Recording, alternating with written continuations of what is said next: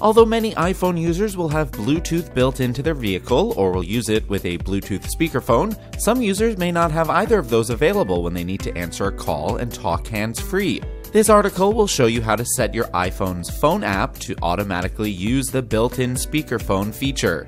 First, some words about common courtesy. Once you've followed the steps in this article, you'll have to set your iPhone to default to its built-in speakerphone function when you place or receive a call. Please be sure to be considerate of those around you when setting your phone calls to the speaker option. If possible, only use the speaker default option when you are alone in your home or office. If you are in a conference room, waiting room, coffee shop, or other public space, set your iPhone to default to the normal handset function, or to connect to a Bluetooth earpiece.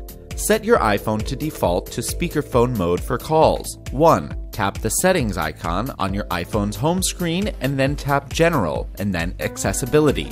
2. Find the menu option marked Call Audio Routing. Tap that option. 3.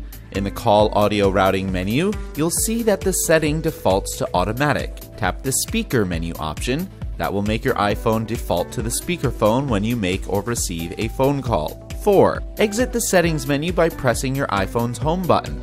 Making and receiving calls. Now that your iPhone has been set to automatically use the speakerphone function to place or receive phone calls, you simply need to answer or place a phone call. Your iPhone will automatically use the speaker to conduct your call.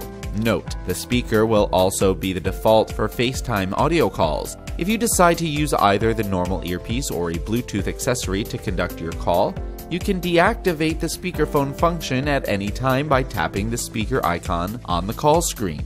In closing, remember to show common courtesy to those around you.